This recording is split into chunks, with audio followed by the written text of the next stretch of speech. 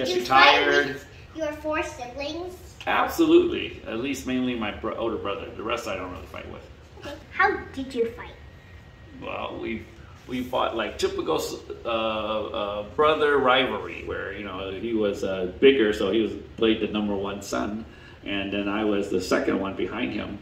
So uh, and I didn't like to I don't like his attitudes and things that he does and how he pushes things on on me and my my siblings. So we get into fights all the way from fist fights to. Uh, of course, you start with name calling. Actually, we don't do much name calling. We, we hit we hit before we do anything else.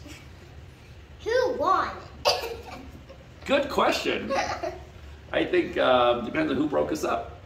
I know I'm editing my video a lot because Dad made made like a lot of mistakes. He was like, "Oh, uh, yeah, I I remember." Uh, no, wait, what? Wait, oh yeah, yeah.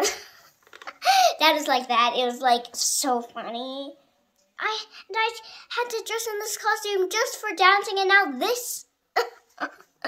so I have one more question to interview Dad. Let's go. What did your parents do when you fought with your siblings? First of all, you know, they probably don't know what we're fighting about, and all they wanted to, all they would say is, "Stop it." That's it, and you better stop. And if you don't, you get hit by a bamboo stick. That's right. And once we were fighting and yelling and screaming, and my my dad uh, came in the room, and he gave us each a knife and said, "Go outside and kill yourself." just to make What us, happens? just to make us realize how stupid we were.